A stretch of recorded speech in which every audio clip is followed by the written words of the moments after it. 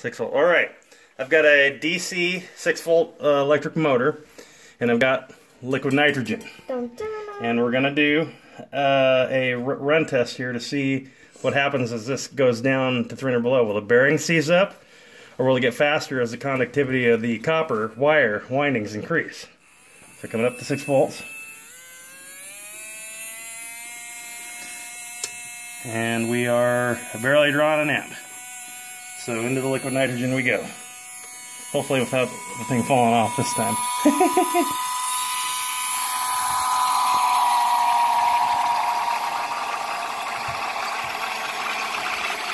Now here the thing slowing down.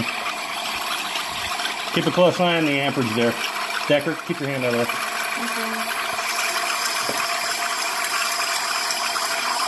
I do hear it getting faster.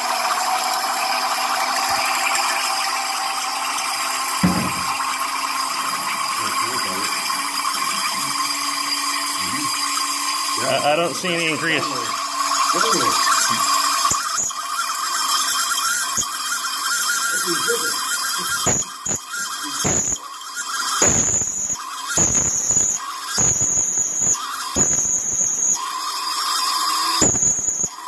I'm going to lift it out for a second.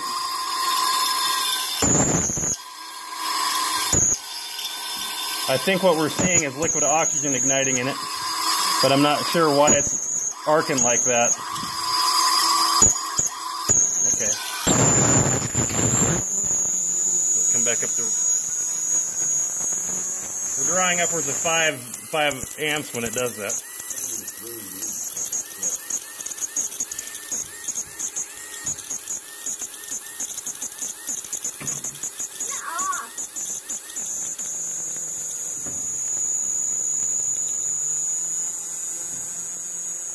Incredible. It's still running. It's got arcs jumping around inside of it. But I'm wondering wondering if the uh, if the if the shellac coating on the magnet wire fa- failed.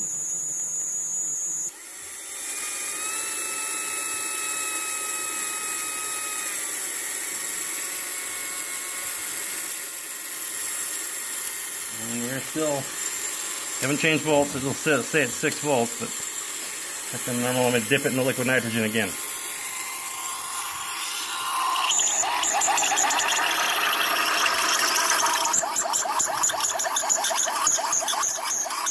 These are motors now certified to go to the outer planets.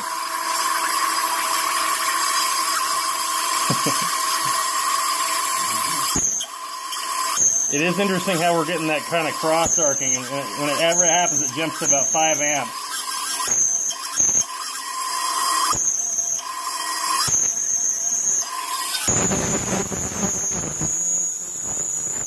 You can see. Uh, we seized it.